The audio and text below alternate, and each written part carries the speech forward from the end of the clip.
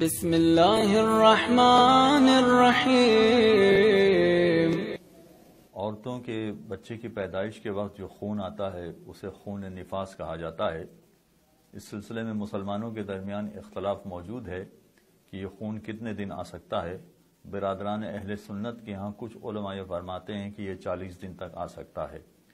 لیکن ہمارے یہاں یعنی اہل تشیعوں کے یہاں، یہ معصومین کی روایات اور ان کی احادیث کی روشنی میں دس دن سے زیادہ نہیں ہوتا ہے۔ لہذا جب بچے کی پیدائش ہوتی ہے، تو اس میں دو امکانات ہیں۔ ایک تو یہ کہ بالکل سرے سے کوئی خون ہی نہ آئے۔ اگر عورت کو ولادت کے وقت کوئی خون ہی نہ آئے اور بعد میں بھی کوئی خون نہ آئے، تو اس کے لیے نفاس کا کوئی عمل نہیں ہوگا۔ اس کا مطلب یہ ہے کہ اس کو نمازیں پڑھنا پڑے گی۔ اس کو نمازیں ترک کرنے کی اجازت نہیں ہے۔ رمضان کا مہینہ ہے تو روزے بھی رکھنا پڑیں گے، روزے بھی ترک کرنے کی اجازت نہیں ہے۔ اگر بچے کی پیدائش کے وقت خون آتا ہے، تو اب یہ دیکھنا پڑے گا کہ کتنے دن آتا ہے۔ ہمارے یہاں طریقہ کار یہ ہے کہ یہ زیادہ سے زیادہ دس دن آ سکتا ہے۔ دس دن سے زیادہ اگر خون آ رہا ہے، تو یہ نفاس کا خون نہیں مانا جائے گا۔ یعنی اس کا مطلب یہ ہوا کہ دس دن کے بعد نفاس کا غسل کرنے کے بعد عورت کو اپنی تمام عبادتیں شروع کر دینی پڑتی ہیں۔ دس دن تک زیادہ سے زیادہ نفاس کا خون مانا جاتا ہے۔ عین ممکن ہے کہ دس سے کم ہو، آٹھ دن ہو، چھ دن ہو، چار دن ہو، ایک دن ہو۔ اگر فرض کیجیے کہ ایک دن کے بعد خون بند ہو جاتا ہے، تو ایک دن فقط نفاس کا مانا جائے گا اور اس کے بعد فوراً اس کو غسل کر کے اپنی عبادتیں شروع کر دینا چاہیے۔ یہ بھی ذہن میں رکھنا چاہیے کہ اگر بچے کی پیدائش سے پہلے کوئی خون آ رہا ہے، تو اس کو قطعا نفاس کا خون نہیں سمجھیں گے، بلکہ وہ استحاضہ کا خون مانا جائے گا اور ایسی صورت میں وہ عبادتیں نہیں چھوڑ سکتی، یہ نہیں کہہ سکتی کہ بچے کی نجاست کا یا بچے کی پیدائش کا خون ہے۔ بچے کی پیدائش کے وقت سے جو خون شروع ہوگا، اس کو فقط نفاس کہا جائے گا، جس کی زیادہ سے زیادہ مقدار دس دن ہوگی۔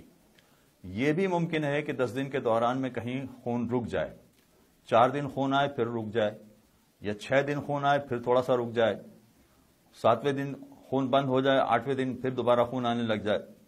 تو اگر درمیان میں بھی خون بند ہو جاتا ہے، تو آیت اللہ سیستانی کا خصوصی مسئلہ ہے، جیسے مہانہ نجاست یعنی حیض کے خون میں مسئلہ تھا۔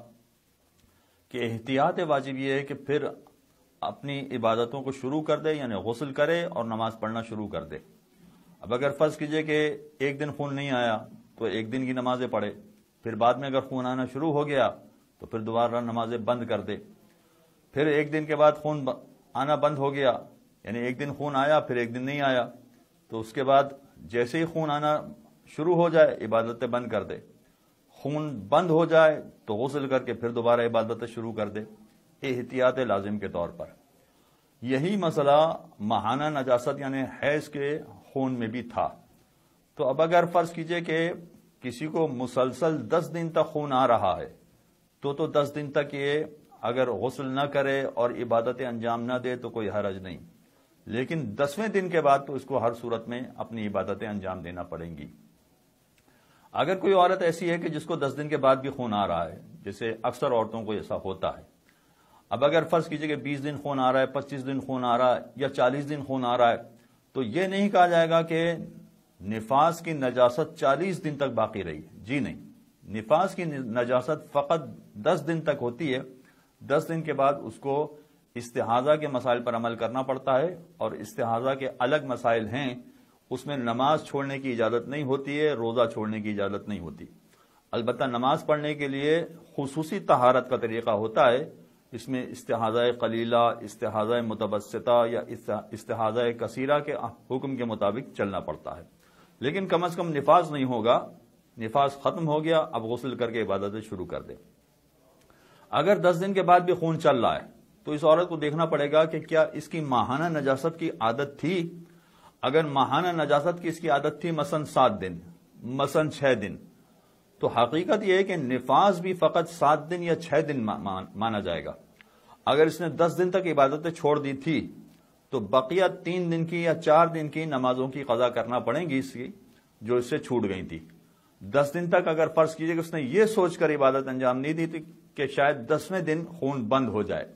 تو اگر دسویں دن خون بند ہو گیا، تو تو سارا کا سارا نفاس مانا جائے گا۔ چاہے اس کی ماہانہ نجاست کی عادت چھ دن یا سات دن کی تھی مگر نفاس کا خون چونکہ دس دن میں جا کے بند ہوا ہے، تو پورا کا پورا خون نفاس کا مانا جائے گا، لہذا اس کو عبادتیں انجام نہیں دینی ہے یہ دس دن تک عبادتوں کو چھوڑ سکتی ہے۔ ہاں دس دن سے جب زیادہ ہو جائے، تو پھر دیکھنا پڑے گا کہ اس کی کتنی عادت ہے۔ اپنی عادت کے دنوں میں وہ نفاس والا خون سمجھے، بقیہ دنوں میں یہ اپنی عبادتوں کی قضا کرے۔ وصلی اللہ علیہ محمد اللهم صل على محمد وآل محمد.